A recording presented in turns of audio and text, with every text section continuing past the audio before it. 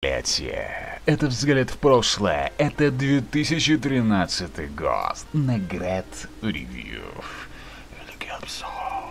И Вера Фармига. Патрик Уилсон. Рон Ливингстон. Лили Тейлор. Лили. Шенли Кэсуэлл. И другие ребятки. И, между прочим, здесь пучеглазая... Сейчас найду. Вот она, Джон Кинг. Вот что вытворяет.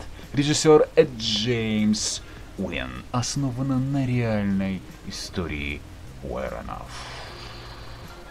Бюджет был только 20 миллионов бакинских, сборы США 137, сборы в мире 319, фильм просто золотиль товарищей Пендасов.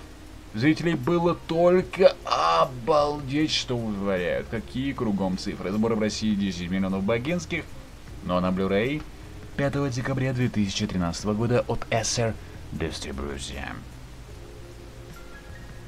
Ну, конечно же, это MTV, премия канала MTV. Лучшая роль в стиле напуган до усрачки.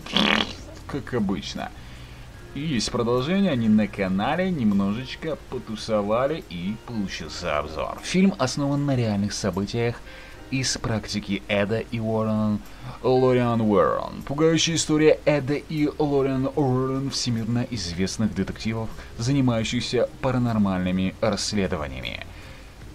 К ним за помощью обратилась семья, терроризируемая темным духом – на уединенной ферме. Вынуждены сражаться с могущественной демонической сущностью, Уоррены сталкиваются с самым пугающим случаем своей жизни. Неплохой Жака. Просто неплохой, который ставлю я 9 баллов. Действительно, до усрачки цепляет и будоражит сознание. Это заклятие. Жуткий и сильный хоррор – по рассказам реальных охотников за призраками. Фильм обязателен к просмотру «Ведьмин час». Не пропускайте. Но с вас лайки, дизлайки, подписки, монетки. Я много перечислил.